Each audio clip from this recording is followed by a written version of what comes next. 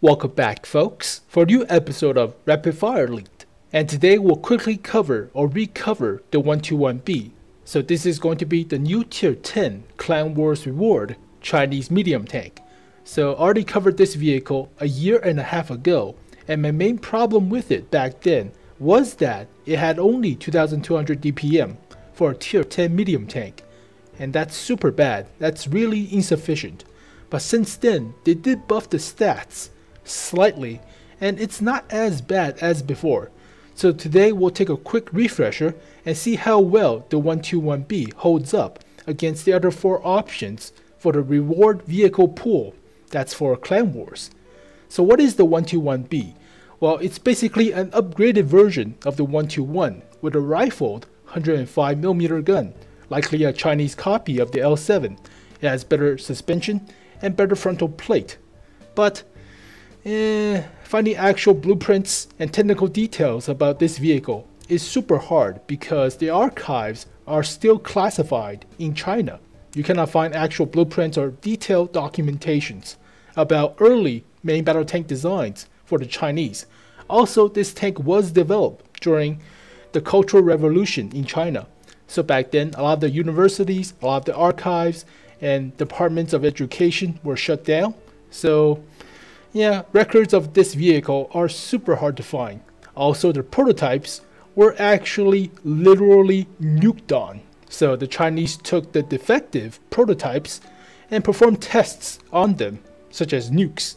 So you're not going to find any other prototypes in display on some sort of public display or museum. Nope. So sad to say, but this is, or this vehicle is, the first generation of Chinese designed main battle tanks. Mostly based on the previous Type 59, but still the first generation. Then comes the WZ121. So it's not exactly the same vehicle. The WZ121 is the second generation prototype for the Type 69. So small confusion there, but the 121B and the 121 is not exactly the same as the WZ121. So slight difference, but hard to find the archives for it. So here are the main stats for the 121B and the 121. As you can see, these two vehicles look very similar. So eh, slight difference in the mud guards, but yeah, it's mostly similar tank. Now, as you can see with the collision models, the 121B is actually smaller, less fat, less wide than the actual 121. So it's not a T-shaped chassis cross-section, but the upper plate is 10 millimeters better than the 121. So effective armor is about 207, 208-ish to 188. So about 20 millimeter ish better effective. Lower plate is the same, 80 millimeter sloped. So yeah, about the same lower plate. The turret is not as good as the 121. It's not as uniform of 240 millimeter on the turret. So yeah, the turret is not as strong and you could get penetrated with high penetration, high explosive anti-tank shells onto this part of the cheek.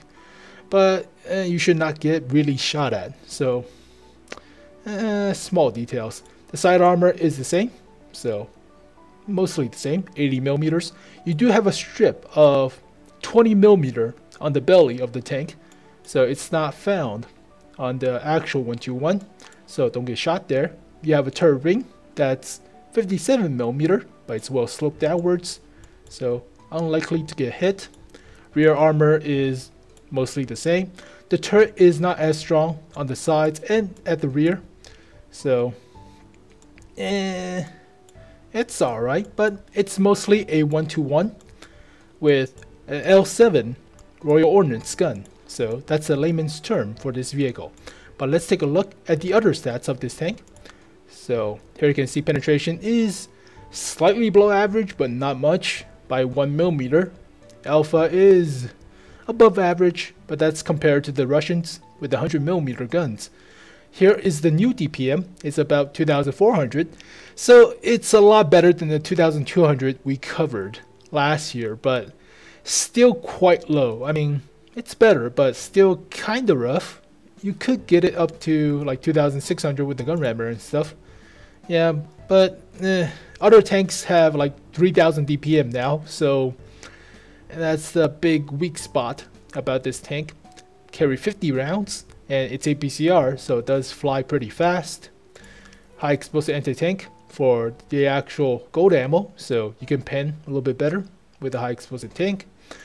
Accuracy is pretty good, like the L7, but aim time is kinda long, and the dispersion is not as good, so kinda rough. 5 degrees of gun depression, 18 elevation. Traverse, eh, pretty good. It's a Chinese tank, so decent. Average and above average. Horsepower time ratio is below average, but that is counterbalanced with better terrain resistance. So it's like the Russian tanks. Yeah. Top speed is 50 kilometers per hour, so not as fast, but relatively okay. Reverse is 20. Health is average, 1950. Mm. 400 meters of view range, slightly below average, but above average. camera rating, radio is standard. So let's compare it with the 121, just uh, yeah, just to see how different. But DPM is oh god, about 500 less DPM penetration is slightly better, but you have less alpha. So, oh my, that's one shell. That's actually one shell difference per minute. That's crazy. Carries 10 more rounds. APCR flies a lot faster. Accuracy is better. Aim time is better, but look at the dispersion. It's about the same dispersion. Actually, a little bit worse for the full turret traverse. So, uh, better gun depression and elevation for sure, and slightly better traverse for the turret. But horsepower per ton ratio is not as good, counterbalanced with better soft terrain resistance, slightly slower for the top speed, view range, camo, radio are the same. Health is the same, so basically a 1-2-1 with better frontal plate, less turret armor, slightly, and the L7. So, is it really worth it?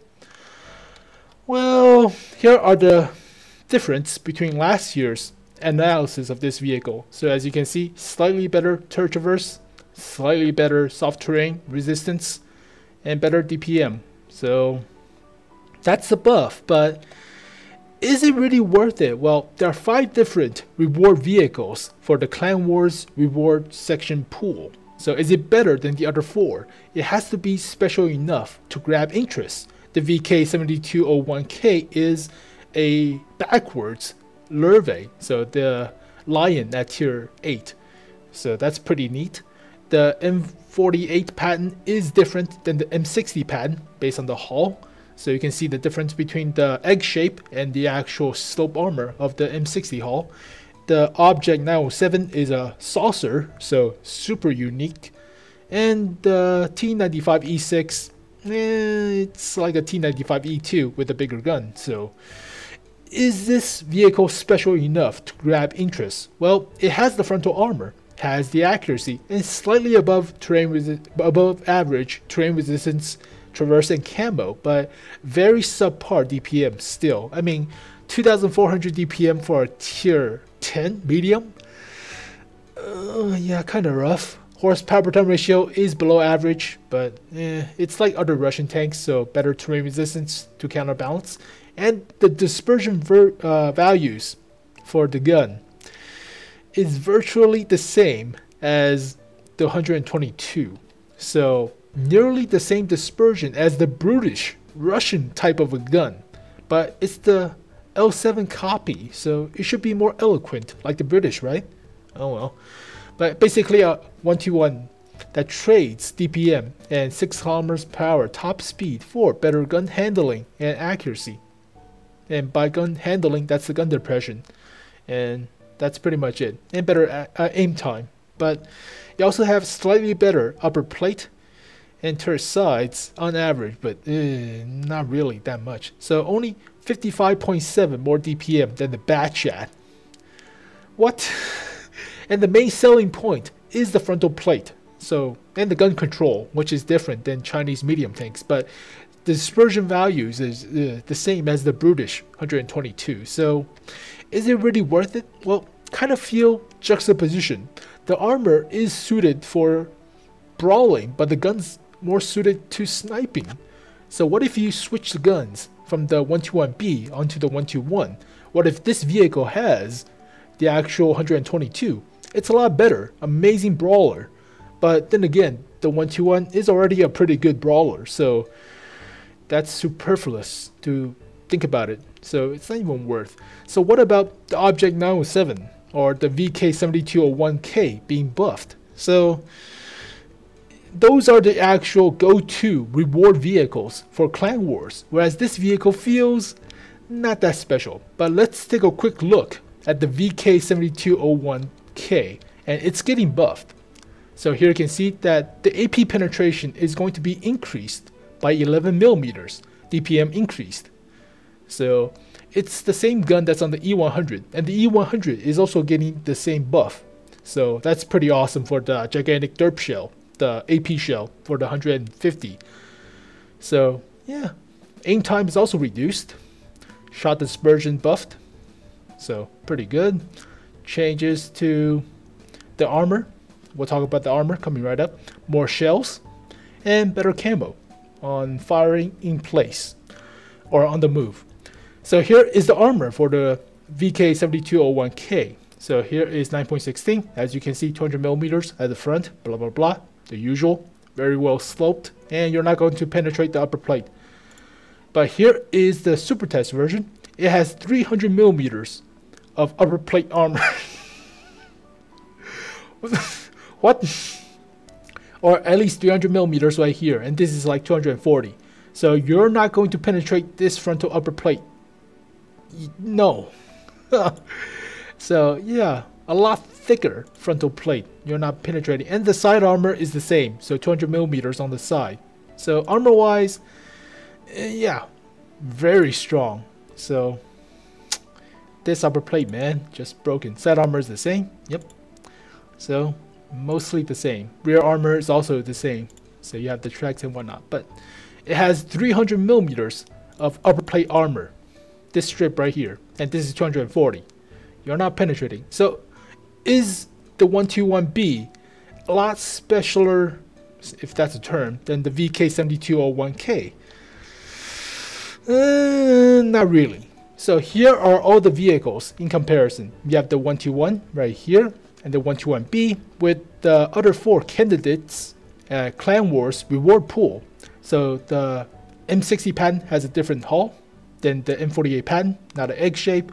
The T95E6 has a bigger gun than the T95E2 and better hull armor and slightly better turret. And you have the saucer, that's the object 907. So doesn't feel really special enough compared to the likelihood of the object and the Patton and the VK obviously. So kind of disappointed.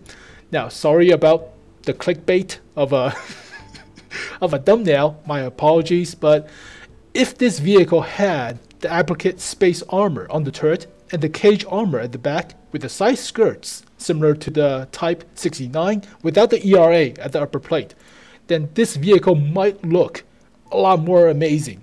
So it's already pretty decent. I mean, looks pretty good because it's based off the T54 and T54 is amazing already. So if this vehicle actually had appliqué space armor on the turret, or the cage armor, or the side skirts, then holy crap, it looks a lot more amazing.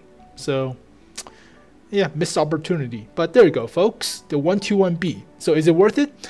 DPM's kind of low, but if you like to play Chinese tanks with L7s, there you go. But I would rather, if I was playing Clan Wars, I would rather get the OPS OPness of the object 907 because a lot of players will get that first. Then they may choose between the VK7201K or the M60 Patton. I saw players play the T95E6 for like a week, then quit. So that happened in April or May of this year, but nobody plays it anymore. So I recommend the object, then choose between the Patton or the VK, but it's up to you. So the more you know, right? But there you go, folks that's the 121B for you. So thank you guys for watching this video. Hope you guys enjoy it, and I'll see you guys next time. Peace.